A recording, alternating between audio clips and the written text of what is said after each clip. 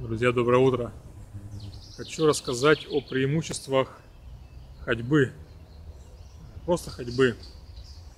То есть э, с конца прошлого года, где-то с ноября, наверное, по сегодняшний день я каждый день по работе хожу примерно по 10, килом... по 10 километров.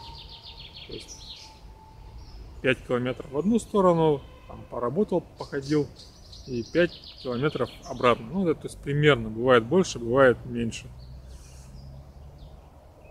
При этом я не просто хожу, а ходил, то есть я старался э, идти и держать осанку. И хочу вам сказать, что за вот эти полгода у меня осанка выпрямилась.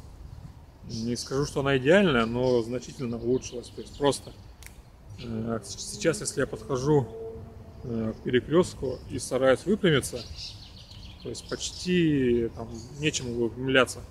То есть э, э, лопатки просто расправляю и все.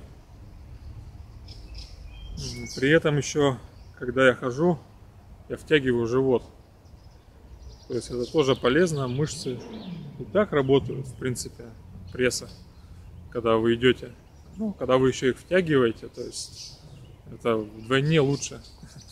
И мышцы, они же, у них есть мышечная память, то есть они привыкают, что э, они должны быть в тонусе. И, соответственно, я как думаю, что со временем живот будет более втянут, потому что мышцы будут в тонусе.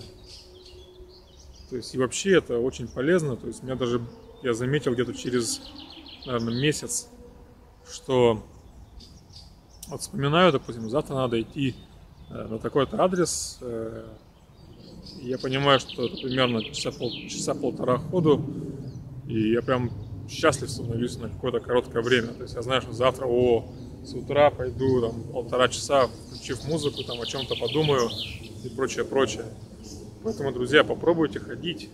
Если вы живете, там, не знаю, ну, вот, час ходьбы, 40 минут, 30 минут – до работы, не езжайте вы на маршрутках всяких, там, на метро. Идите пешком. Это действительно полезно. Э, будьте здоровы.